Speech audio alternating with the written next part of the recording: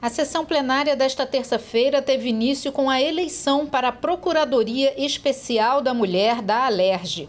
A deputada Tia Ju foi eleita primeira procuradora especial da mulher e as procuradoras adjuntas são as deputadas Célia Jordão e Marta Rocha.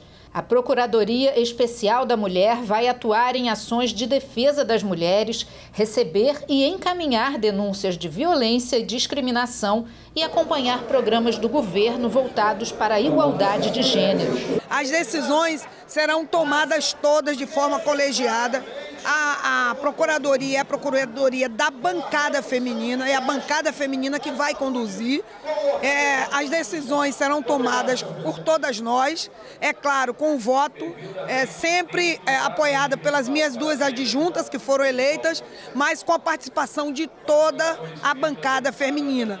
Eu, eu vou querer muito que as, as deputadas participem das ações da Procuradoria, tome conhecimento, saiba, delibere, encaminhe, porque porque cada uma de nós representa um partido político, representa uma parcela da sociedade e as demandas são diferenciadas. Hoje é um dia histórico.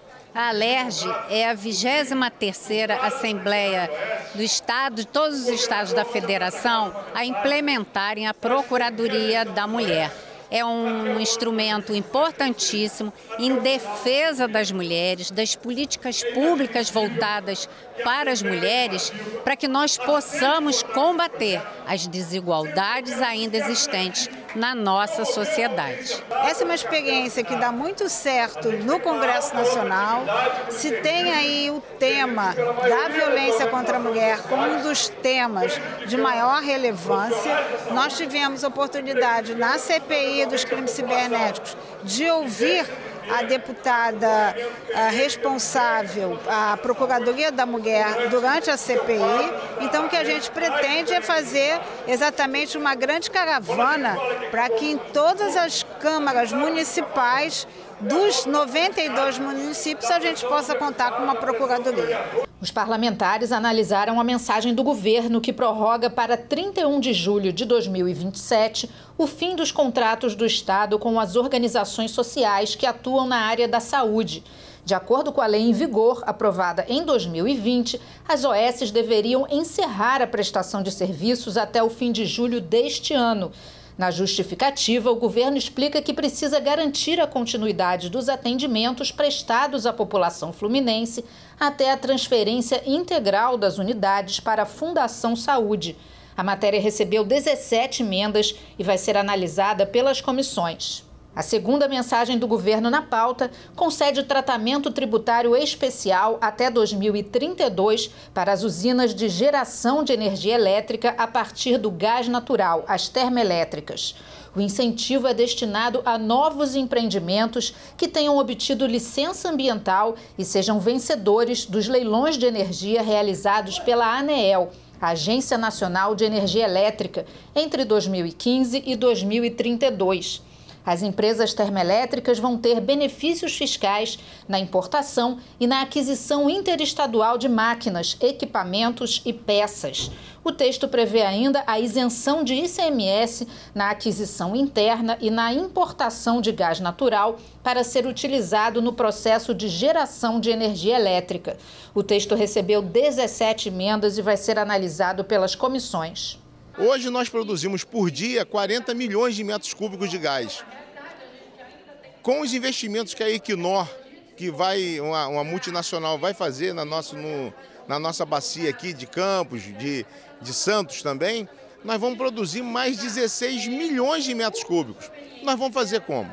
É óbvio que a gente queria ter uma, uma, uma matriz energética que não poluísse, mas o gás é o que menos polui. Então, eu tenho certeza que dessa forma nós vamos gerar emprego, renda e muito trabalho para a nossa juventude aqui no Estado. A terceira mensagem do dia é a que trata das diretrizes orçamentárias para 2025. O projeto de lei enviado pelo governo prevê para o ano que vem um déficit de quase 14 bilhões de reais, com receita líquida estimada de 107 bilhões e despesas na ordem de 121 bilhões. A proposta da LDO já foi analisada pela Comissão de Orçamento da Alerj, que incluiu no texto 435 emendas das 549 apresentadas pelos parlamentares medidas para a revisão da política de juros com a União, transparência nas contas públicas e auxílio a outros estados em casos de calamidade pública foram algumas das sugestões feitas pelos deputados.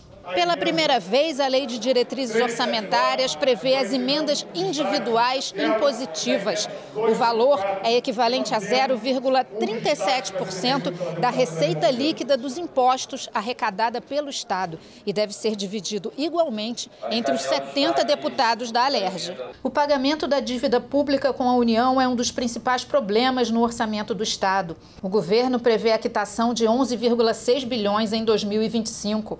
Uma das emendas aprovadas do deputado Luiz Paulo propõe a revisão da LDO, caso o Congresso Nacional aprove uma nova regulamentação do regime de recuperação fiscal com a redução dos juros da dívida. O texto também prevê alterações na lei se for confirmada a liminar do Supremo Tribunal Federal, que reduziu a dívida do Rio com a União e suspendeu a multa por descumprimento do regime de recuperação fiscal. Essa decisão liminar do ministro Toffoli precisaria ser confirmada no órgão pleno. E ela fala do valor de 24. Ela não explicita o valor de 25. Mas, além do mais, é esperado que nesse segundo semestre o Poder Executivo da União mande uma mensagem para o Congresso Nacional sobre o novo regime de recuperação fiscal e que essa nova mensagem traga uma redução dos juros de 4% ao ano. Se dependesse de mim, caindo para 0%, ter só o IPCA. Mas pode vir qualquer outro valor, 1, 2%.